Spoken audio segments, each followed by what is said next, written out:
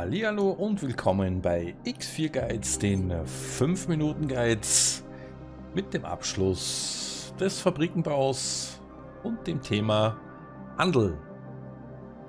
Wir springen in unser Cockpit, um uns einen Überblick zu verschaffen. Er bitte Erlaubnis zum Andocken.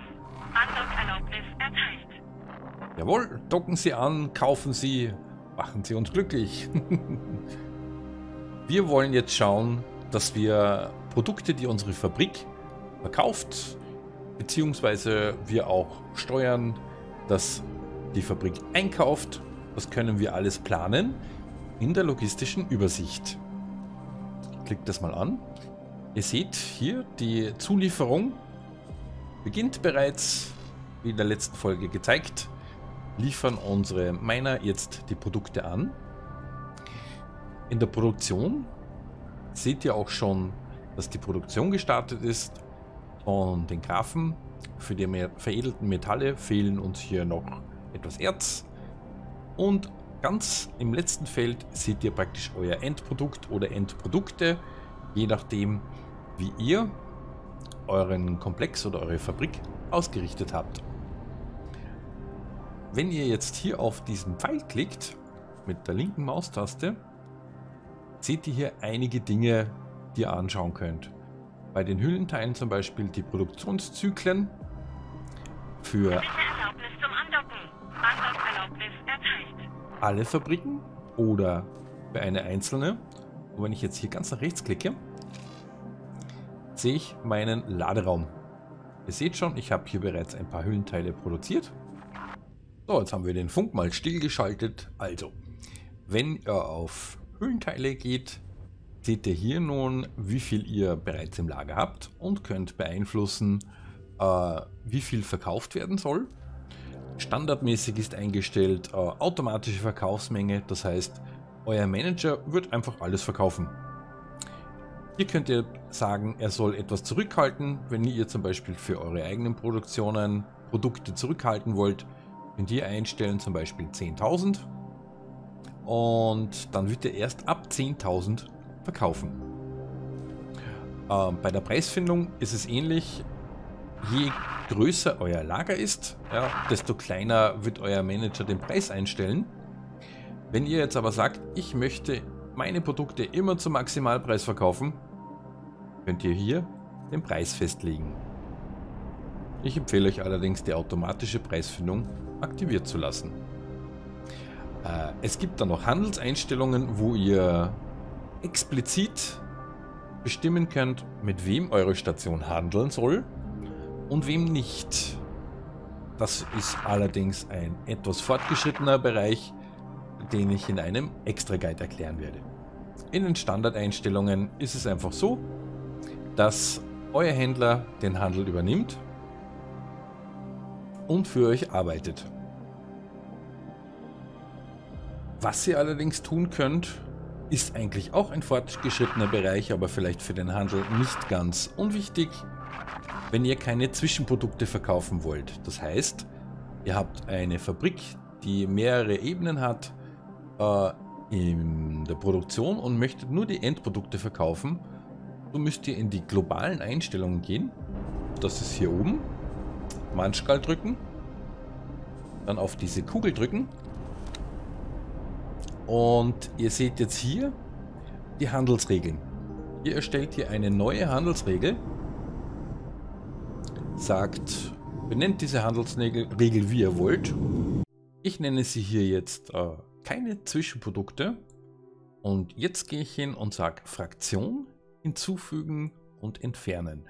Das heißt, hiermit lege ich fest, mit wem diese äh, Station die Zwischenprodukte handeln soll, in dem Fall, drehe ich das Ganze um mit alle Fraktionen beschränken, das heißt nur mit mir. Das bewirkt, dass äh, fremde Fraktionen jetzt keine Zwischenprodukte mehr kaufen können, äh, beziehungsweise verkaufen können, wenn ich das nicht möchte. Äh, das Ganze speichere ich jetzt, bei Änderung übernehmen gehe nochmal auf die Station und zwar auf die logistische Übersicht und kann jetzt sagen, Hier zum Beispiel Energiezellen. Wäre hier jetzt als Kauf eingestellt, das heißt mein Manager würde diese einkaufen. Äh, das möchte ich nicht, deswegen sage ich äh, einkaufen, keine Zwischenprodukte. Jetzt wird er keine Zwischenprodukte mehr einkaufen. Das gleiche kann ich machen bei Verkauf. Ich sage, Energiezellen sollen nicht verkauft werden, wenn ich das möchte. Wähle hier keine Zwischenprodukte und es wird nicht mehr an andere Rassen verkauft. Das gleiche kann ich jetzt zum Beispiel bei den Graphen machen. Ich möchte nicht, dass er Graphen zukauft. Keine Zwischenprodukte auswählen wenn ich nicht möchte, dass er Graf verkauft. Äh, wir wissen allerdings, dass er einen leichten Überschuss hat. Könnt ihr jetzt zum Beispiel hier sagen, Verkaufsmenge. Er soll aus die Hälfte behalten. Die Preisfindung lassen wir ganz einfach, wie sie ist. Und kann diese Einstellung so lassen. Das heißt, er wird dann bis 4000 Einheiten verkaufen und nicht weiter. Äh, ich möchte aber nicht, dass er einkauft, habe ich hier schon eingestellt, keine Zwischenprodukte. Ja, und zu guter Letzt haben wir hier dann die veredelten Metalle. Ähnlich wie bei den Graphen. Ich möchte nicht, dass er die zukauft. Das heißt, keine Zwischenprodukte. Ich möchte nicht, dass er mir alles verkauft. Also hier ganz einfach ein Test, was ich mir zurückhalte zur Sicherung. Und bei den Hüllenteilen lasse ich alles wie gehabt. Kaufangebot ist hier keins eingestellt, denn er soll ja keine Hüllenteile kaufen, sondern nur verkaufen. War schon.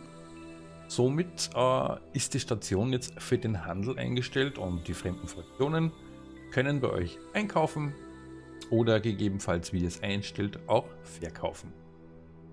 Zu guter Letzt könnt ihr natürlich, äh, wenn ihr nicht abhängig davon sein wollt, dass die Händler euch anfliegen, der Station Handelsschiffe zuweisen, nämlich eure eigenen. Ich habe hier jetzt zum Beispiel einen Merkur, das ist ein M-Transporter und das funktioniert ähnlich wie mit den Schürferschiffen. Dieses Schiff kann ich meiner Station meinem Manager zuweisen und ihm sagen, du tust jetzt bitte meine Produkte für mich verkaufen. Das heißt, Linksklick, Rechtsklick auf die Station und jetzt seht ihr hier schon für den Kommandanten handeln. Ihr wählt einfach eines aus, was noch frei ist. In dem Fall nehme ich hier jetzt Beta. Und schon wird der Merkur zugewiesen. Das dauert meistens einen kleinen Augenblick, schon ist es geschehen. Und wenn ihr jetzt hier auf Rechtsklick Information geht und auf die Schiffseigenschaften, auf die Schiffsbefehle, seht ihr, er hat bereits einen Befehl bekommen. Er dockt gerade an eurer Station an, holt Hüllenteile ab und verkauft die an die Argon Schiffswerft. Um jetzt einen Überblick zu bekommen, wie sieht es denn eigentlich mit meiner Station aus? Was macht die denn für Umsätze? Wie ist denn der Kontostand? Wie komme ich eigentlich zu dem Geld, zu den Credits? Geht ihr auf die logische Übersicht. Ihr seht hier das Stationskonto und könnt der Station jetzt Regler nach links schiebt, das Geld auf euer Konto überweisen. Wenn ihr das nach rechts schiebt, könnt ihr Geld auf die Station überweisen. Euer Manager wird, wenn ihr das so eingestellt habt, das Geld verwenden, um zum Beispiel Zwischenprodukte einzukaufen. Wir haben gesagt, wir wollen das nicht. Ja. Ihr könnt natürlich eure Station auch versorgen mit Rohstoffen, äh, indem ihr einfach die benötigten Materialien einkauft und äh, keine eigenen Miner verwendet. Das heißt also, wenn die Station jetzt hier zum Beispiel ein paar Credits hat und hätte keine Miner, dann kann ich jetzt hier zum Beispiel einstellen, er soll mir bitte einkaufen. Dann wird er das Geld verwenden, um diese Materialien einzukaufen, was natürlich euren Gewinn etwas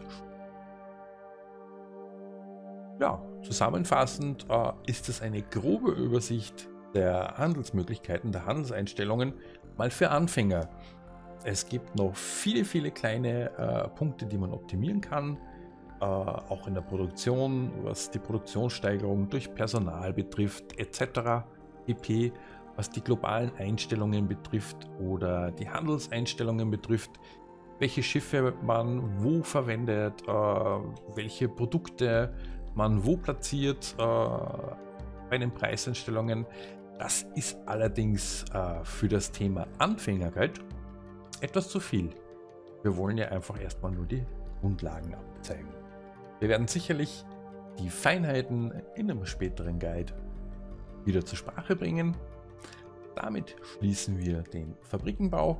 Ich hoffe, ihr hattet hier einen groben ersten Eindruck, wie das Ganze funktionieren kann.